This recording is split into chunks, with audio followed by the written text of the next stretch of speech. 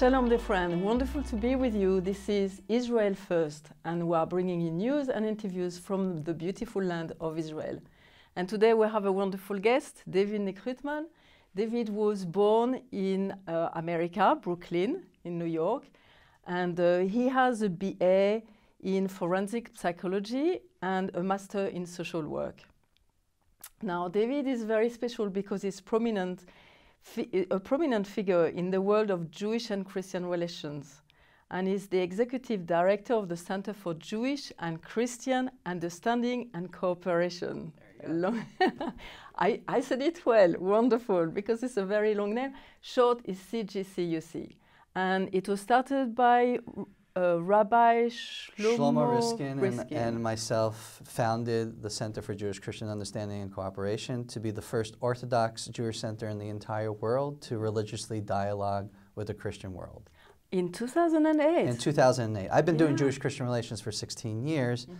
but there hasn't been an institutional response to the overwhelming support of Christians around the world for Israel and the Jewish people and especially from the Orthodox Jewish side, that makes up 10% of world Jewry. Mm -hmm. What is our response to this new phenomenon of a Christian coming together and supporting the Jewish people in the state of Israel? The question comes up is what is our religious obligation mm -hmm. to that? And the center is the institutional response to that. And we, we base it upon that, of course, Christians believe in Jesus divine and Savior. We're not here to make Christians Jews, just like we also ask respect from, from the Christian world to allow Jews to be Jews, even though there is the Great Commission. And obviously, that becomes one of the tension points of how do we do this while respecting our theological boundaries. But we have pioneered a path mm. that we're able to respect each other's core theological doctrine, yet advance kingdom here on earth. That's it. And this that the key is really yes. kingdom at the end of the day. We are both committed and obligated on behalf of the God of Abraham, Isaac, and Jacob to bring the kingdom of heaven down to earth. And that looks like something, but we don't know exactly the language to do it together. We both do it yes. separately in our own faith communities. So that's it. By being a pioneer, because you're the first one through the wall, you get bloodied the most, mm-hmm. but you also pave the way for other people to come in. And I think that's what's been happening within the Orthodox Jewish community. More and more people where, are where, in the Orthodox Jewish community are feeling more and more mm-hmm. comfortable with the relationship. I know when I first started out 16 years ago, I would be the sole representative of the Jewish people at a Christian event for Israel. Mm-hmm. And here we are almost, six, we're 16 years later, and we're inviting Christians into a synagogue to celebrate Israel's Independence Day through a psalm worship of Psalms 113 to 118, known as the Hallel Psalms. Mm-hmm to fulfill that mandate of Psalm 117, that the nations will come together to praise God for what he's done for us. So look what's happened just in 16 years, sole representative for the Jewish community for certain celebratory events on the Christian side. And here's the synagogue inviting Christians coming in, and, and we're doing coming, a psalm and worship. They're coming, and they're yeah, coming. And they're coming.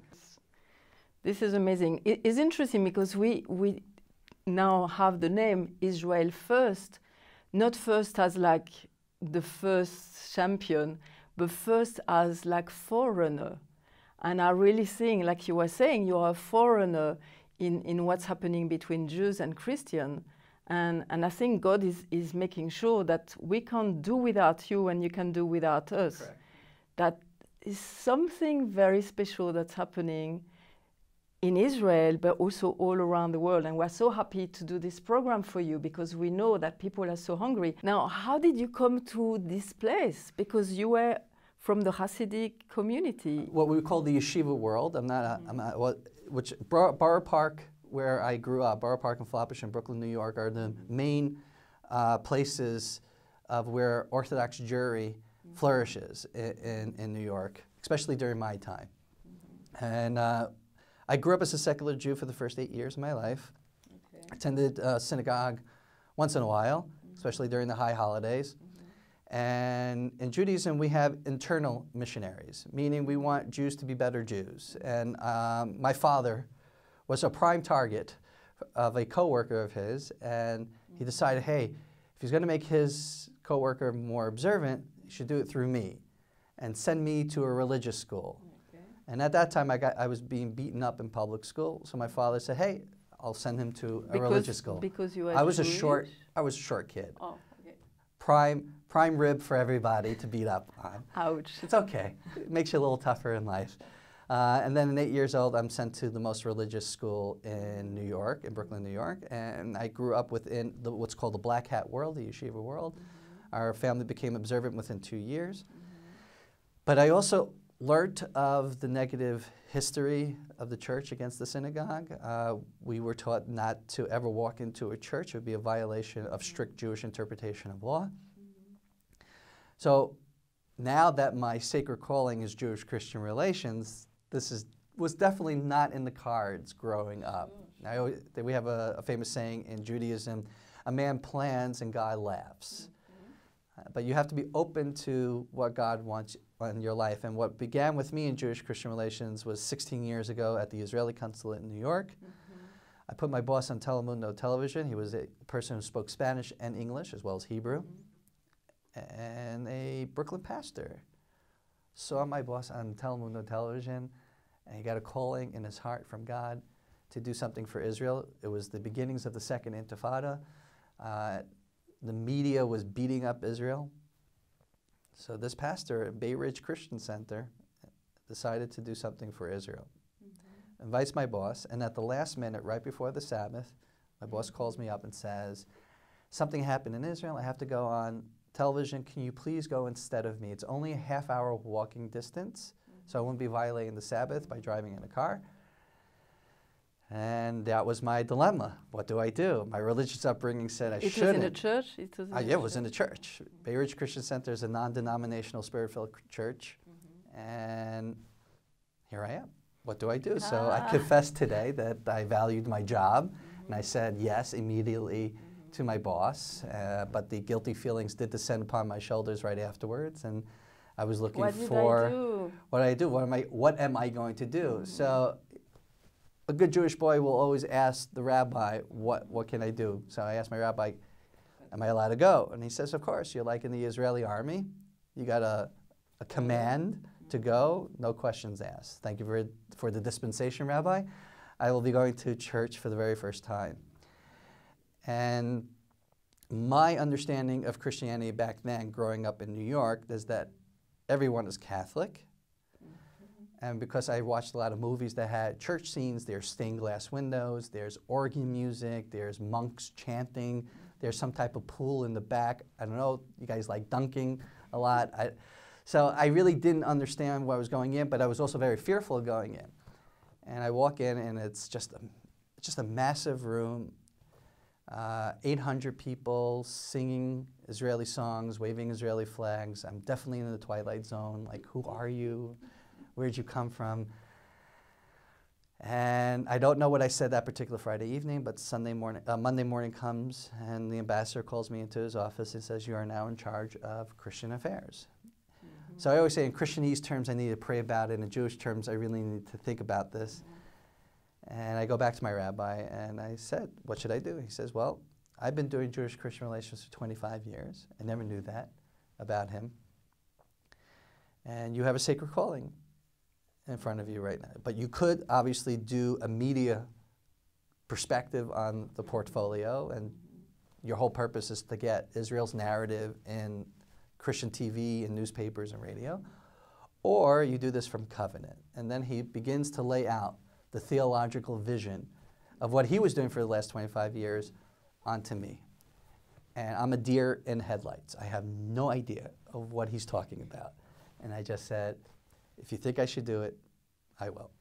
And I go back, and I'm a parrot to the ambassador. I just repeat whatever my rabbi said. He thinks I'm a theological genius. and I said, I need some time to understand the basics of Christianity. I think it's dishonest to enter into a relationship without knowing the other. And it was an eye opening experience because the ambassador said, I want you to write a white paper on every single denomination within Christianity, their political and theological stance on Israel. And I have six months to complete it. And when I tell people this story, they're like, and I'm like, again, I thought you were all Catholic, so this was going to be very easy. And then you find out there are thousands upon thousands of movements. and how you going to put this all together. It was quite difficult, but at the end of the day, uh, God led me really into the evangelical world, which was mostly ignored by the mainline Jewish Christian dialogue that was happening for the last 35 years okay. back then. Mm-hmm. Evangelicals were never usually invited to the table. Orthodox Jews never wanted to be part of the discussion. So you have was it was it because they were more like gospel oriented? There is a I, again, I'm only speaking with what I heard within sure. Christian circles, is basically that there is this notion that evangelicals are not theologically nuanced enough to be part of the dialogue. Okay. Okay. Those are, you know, the holy rollers, and they're all yeah, about yeah, waving yeah. their hands up. And a lot of the mainline Christian Jewish dialogue, mainstream uh, Jewish Christian dialogue, takes place within mainline denominations, your Methodists, Presbyterians, your Lutherans. So you're not going to see any charismatic Lutherans uh, uh, back then, you know, who are part of the dialog mm -hmm. yeah. Which is very interesting. Like if, if I look on, on my side, being Christian and having done a walk also about being Christian, discovering the Jewish roots of Christianity and all of that, during the charismatic renewal, which was in the 70s, right. we were singing Jewish songs, Avenu Shalom Aleichem, you know, things that God was starting to put in place without even us really realizing what was happening. And this was like the evangelical charismatic, Correct. which is interesting. Like the Holy Spirit was trying to.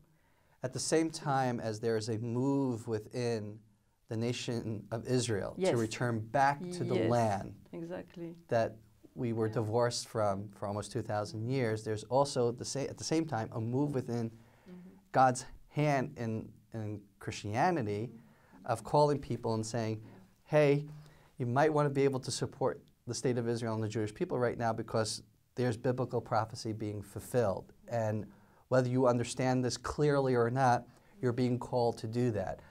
There are many Christians that have received that call but told God to leave a message after the beep. Right? And then there are others who actually took the call and ran with it and were also pioneers and were considered the strange people in the congregation of their passion for Israel. So I am very cognizant that where I am today and where the center is today is because of the blood, sweat, and tears of committed Christians mm-hmm. to make the first move mm-hmm. to say, we're sorry for what happened in the past, but we wish to have a prosperous future, one that is in partnership with you to advance kingdom. Mm -hmm. Which is very interesting again because I was speaking with uh, some friends yesterday coming back here. And we're like, you know, the charismatic movement, God was trying to say something, and and now, and I really think that it was all about coming back to the Jewish roots. And some people, as you say, are still charismatic but haven't picked up what God was really saying. Yeah. And and they are going around around, but there is still this spare head who are going with like the Christian and Jewish people coming together. And and he's like, okay, this is exciting. Where is the next step? Where are we going? Is is a big it's a big change, I think. It's little steps right. for a big change. Correct. And again, you have uh, Christian theologians that made that happen. I mean, Brad mm-hmm. Young was a few, he was here mm-hmm. a month ago and mm-hmm. he gave a talk in Hebrew at the Bible Lands Museum about the phenomenon of Christians supporting in Israel. And this is like really, here's a, a Christian theologian who is a graduate of Hebrew University who learned under Professor David Flusser, who is an Orthodox Jewish academic who talked about the Jewishness of Jesus at a time that was kind of taboo to do that. It was like, wow, Jesus was Jewish. That was a f- most Christians didn't know that. You know. Yes. Yeah. It's yes, it's it is yes, a shock yes, for for certain Christians. Now it's not. I think you know, there was an article in Time magazine not that long ago. Like one of the major trends is rediscovering that Jesus was Jewish, mm-hmm. and and I always say to Christians, as just as much as the divinity of Jesus is very important to you for your connection with God. His humanity also has to be equally as important, and his humanity practiced the Judaism. And that Judaism closely reflects what I do today. And therefore, there's a lot that we can discuss because I can't discuss this with a Muslim or a Baha'i or anyone else. I could talk Jeremiah with you or Isaiah and the, and the prophets. We could talk about holiness and kingdom because all those things have a basis within Tanakh, within the, what we call the Oh. Hebrew Bible. Yeah. And, you know, again, when Christianity first started out, they didn't have the canonized scripture that you have today. They only had The Old Tanakh. Testament. Yeah. So where is it coming from? It's coming from here. That's the basis of it all. I, I totally agree. I mean, when when I start to read, I mean, when we start to discover the Jewish roots of our faith, suddenly we went back into the Old Testament, and and looking at it how the Jewish people see it, because I my background, I think I was telling you before, is Catholic background, and it's like the God of the Old Testament is like is like uh, le Père Fouettard we say in He's French. a little wrathful, Yeah. a little angry. exactly. Yeah, but he's loving when it comes to the New Testament. And, I- Yeah, and, and I always he's point out to Christians, did you actually read everything? Because there are times that, even in, in the New Testament verses, he, God is not completely always, I know. happy. But it's, it's like it's like a tradition that's been given to us. I know, because of the and, replacement and we theology. think that exactly, and we think that is the truth because it's a tradition that's been given to us. But when we start to study the Torah, study the Tanakh, study the Old Testament, however the people you know call it, it's like suddenly, with the Jewish eyes, you see how kind he is, how loving, you know, his loving kindness, the way again for social things, how we have to behave. I mean, it's like making your thinking like totally different, and that he is part of uh, of your daily life. right. And he's like, he's a God so close to us. He's a God so close to the Jewish people, and they know that, and they know that he's a father, and like, which is again very interesting because as Christian, I've learned that Jesus and Jesus is my savior. I won't be here today if he didn't do something in my life.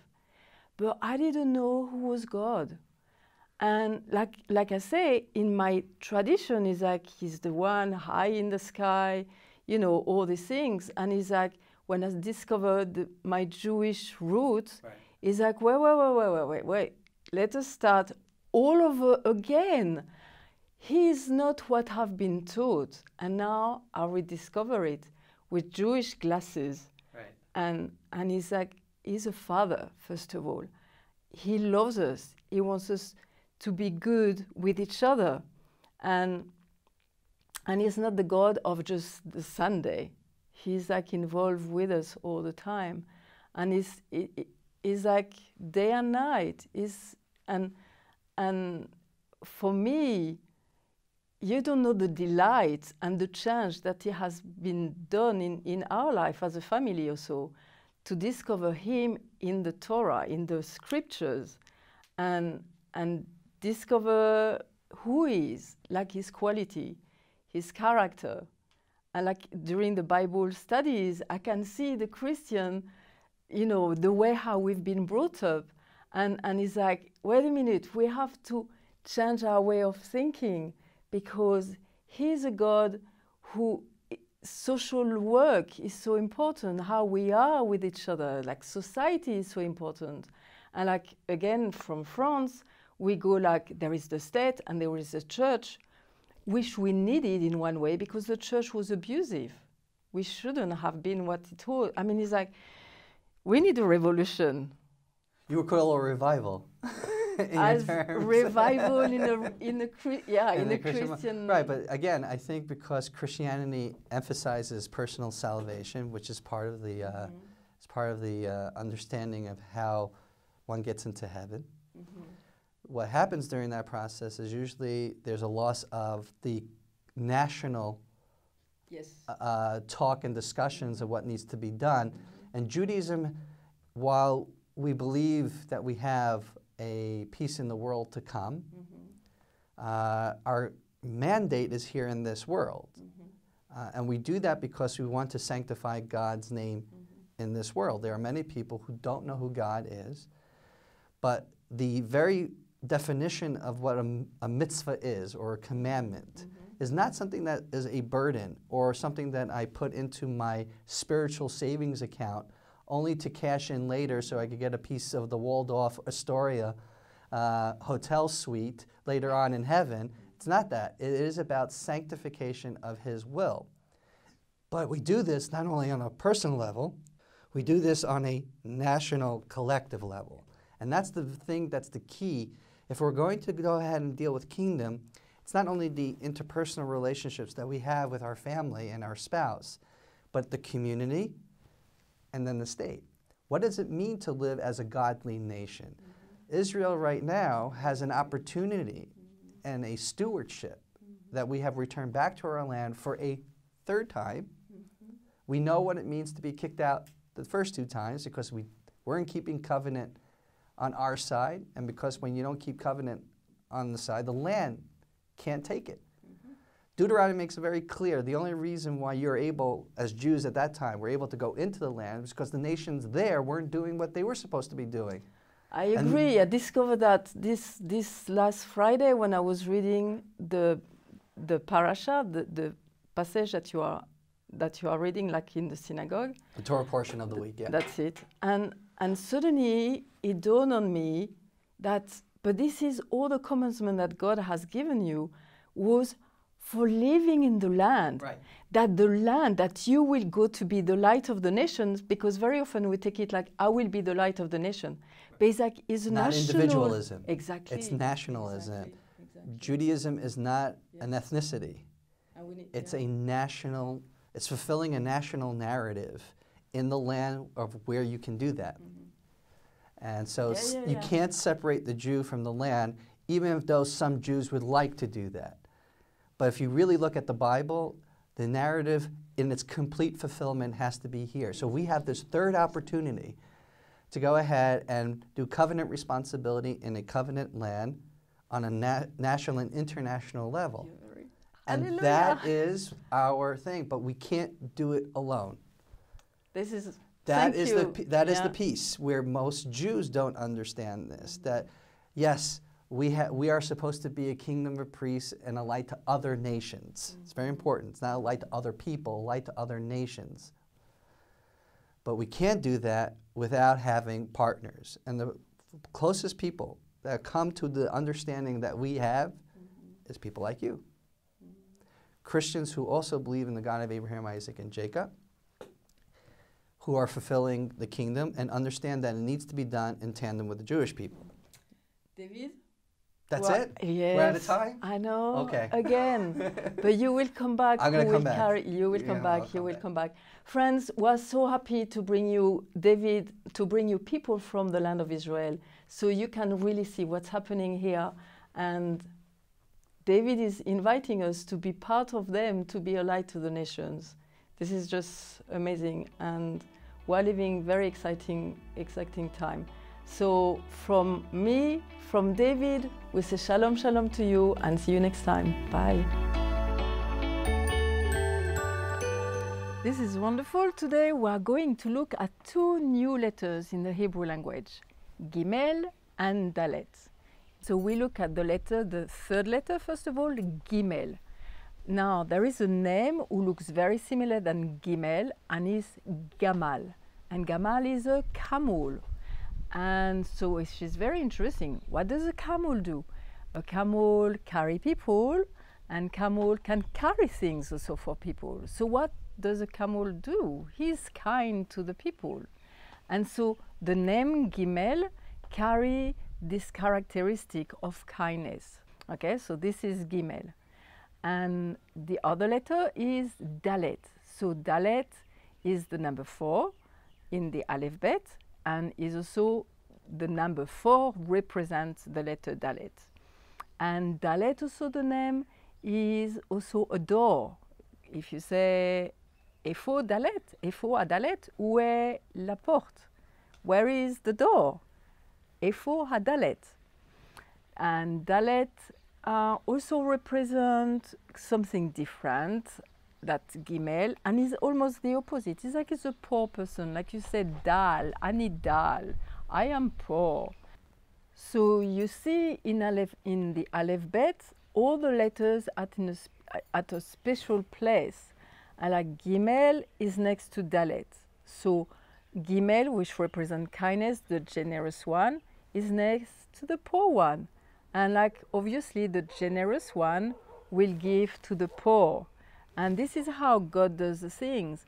You see, again, we see in this Aleph Bet the character of God. He loves, one of the things that He loves is when we help each other. And this is part of how God loves to make the world. The generous give to the poor, and the poor receive from the from the rich one. And it's like there is a blessing to give, and there is a blessing to receive. And it's part it's part of how it's part of the pattern of the world. So it's, it's important.